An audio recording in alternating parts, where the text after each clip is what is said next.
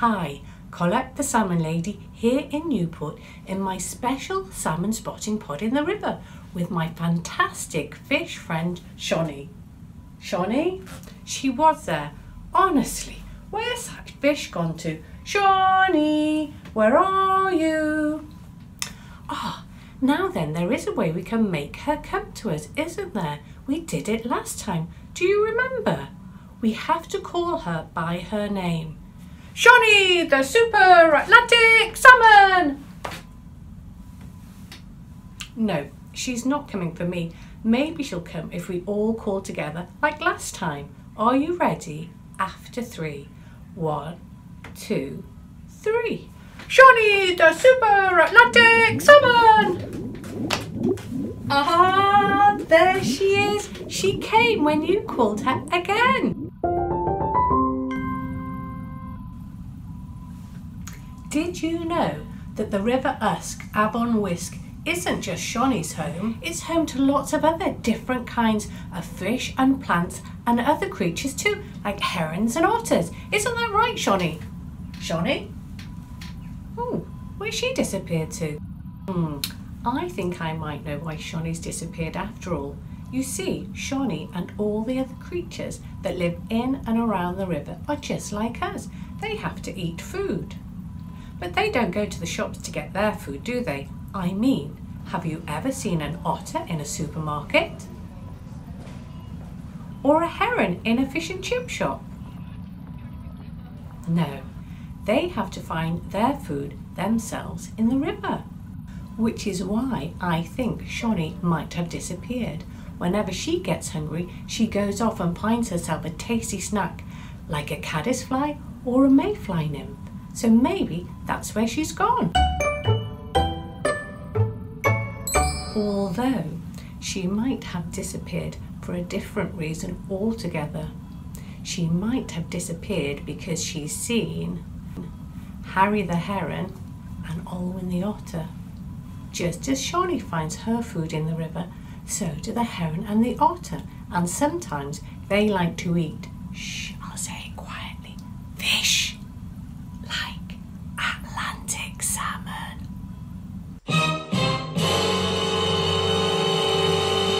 So Sioni has to try and stay safe in the river because while she's looking for her food to eat, well, the heron and the otter might be thinking it would be nice to have a fish supper and they're not going to phone for a takeaway. Mm-mm. They have to find their food themselves in the river. Let's see how they do that.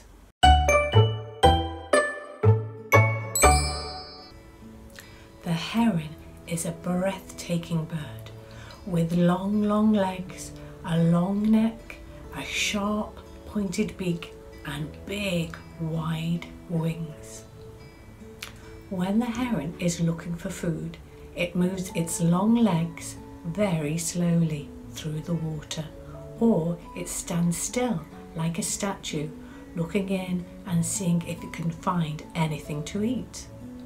If the heron moved its legs and feet quickly then the creatures would know that the heron was there and the fish would swim away and we would have a very hungry heron. So they stay very still with their beak ready, watching the creatures in the water. And when one comes close enough, they use their sharp beak to try and catch it. Shall we be herons and try and catch a fish ourselves?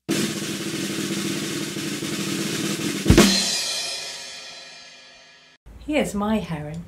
Can you see his body, his long neck and his beak? He's very hungry and he's looking for something to eat. Here he is. He's very still and he's looking in the water. I think he spotted a fish. he's caught it! Otters are really good at fishing too, so Sioni stays well away if they're around. She doesn't like it when I say this, But otters really are super, super swimmers. They have special webbed feet, just like these, to help them swim underwater. And they have thick, thick fur coats to keep them warm too. They don't need any wetsuits. When it comes to finding their food in the river, otters use their eyes and their wonderful twitching whiskers. How cool is that? In fact, it's utterly wonderful. Did you like that joke? Can you twitch your whiskers like Olwen? Like this.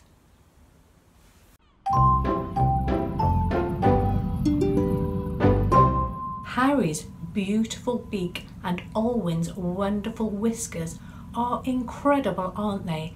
And they are what they use to help them find their food in the river. But our super and special fish, Sioni, is very good at finding her food too and keeping safe in the river as she travels down the watery road from the mountains to the sea.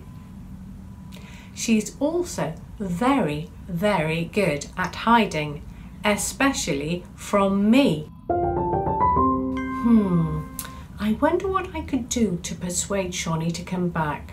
Hmm, I know. She knows I love singing and she loves my singing. And she loves it even more when I'm singing about her. So, maybe if we sang a song in which she's a star of the show, she just might come back to us. I'll sing it first and then we'll sing together. Okay, me first. May fly on the riverbed, gills on its body and a flat brown head. It's only small but a tasty dish, a favourite food for birds and fish, like a salmon, like a salmon. Like a salmon, like a salmon, like a salmon. Great big heron is standing there. On one leg he'll wait and stare. His neck is long, his beak is short. He won't find me, I'm far too smart as I'm a salmon. I'm a salmon. I'm a salmon, I'm a salmon, I'm a salmon.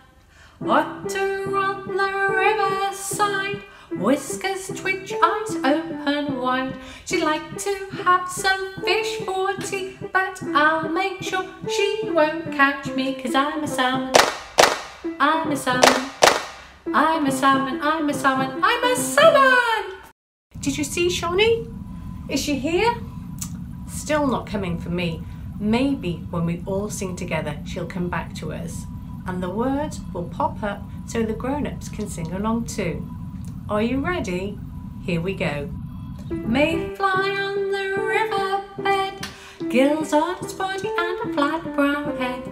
It's only small but a tasty dish, a favourite food for birds and fish, like a salmon, like a salmon, like a salmon, like a salmon, like a salmon. Great big heron is standing there, on one leg he'll wait and stare. His neck is long, his beak is short, he won't find me. I'm far too smart as I'm a salmon. I'm a salmon. I'm a salmon, I'm a salmon, I'm a salmon.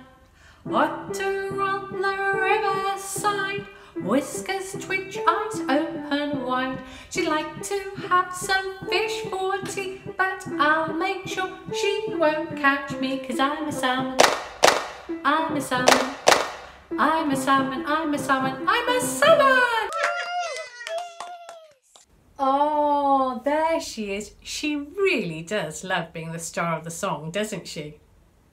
I hope you like that song too. It helps to remind us that our rivers are home for lots of different kinds of creatures and they all need each other.